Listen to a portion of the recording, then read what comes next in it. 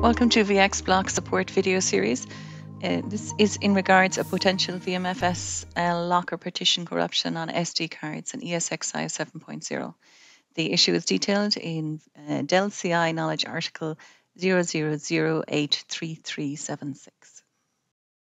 Symptoms are when an ESXi host boots off of a USB SD card. The, there are logs or boot up errors that indicate the boot drive is corrupt. The problem may cause a purple diagnostic screen error if related to this problem, the diagnostic message should indicate or imply a boot disk failure.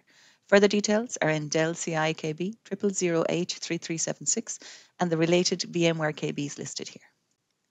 To verify if this is your issue, what you're looking for in the VMK warning.log file are any errors in regards to the boot bank.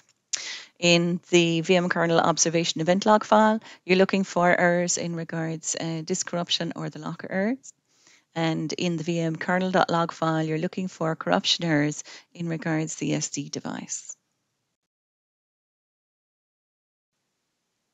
So change directory to slash var slash log.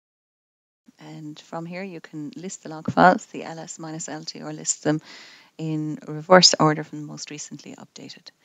To search the log files themselves, use the cat VM log file name and pipe it to a grep for a string, the string you're looking for. In this case, in the vmk warning.log file, we're looking for the string boot.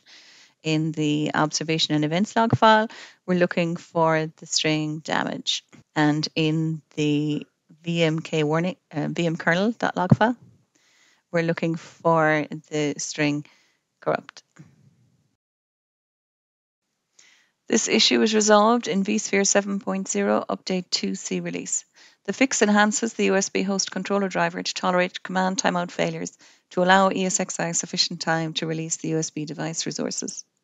As a best practice, it is recommended not to set the dump partition on USB storage devices. And there is a workaround.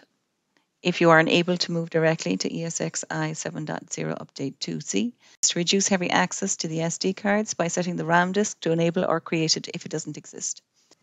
Using PuTTY, SSH into the host and log in as user root. Once logged in, you can use the ESX CLI command line to verify if the uh, tools disk has been created or not. If it has been created, and then it will actually list the contents as we have here because it's already been created. If not, you will see an error. If created, we need to verify what it's set to. The current setting is INT value, and you can see that colon is zero. So it's currently set to the default setting at zero. We need to set it to one to resolve our issue here for the current workaround. If the RAM disk parameter had not been created, then you would have to create it before continuing. The command created is given here. In our case, when we try and create it, it tells us it's already there because we've just seen it. And then we need to set, because it's already there, we need to set the RAM disk parameter to 1, which is not the default. So just to check that we have set it correctly, we use the list command, and here we can see the int value is 1. Now, in this case, a reboot is required before it will take effect. And we can also just, another thing we can check before we reboot is you can just check and see if the slash tools directory has been created here. And as we can see, it hasn't. So then we need to reboot the host and uh, check it again when it comes up.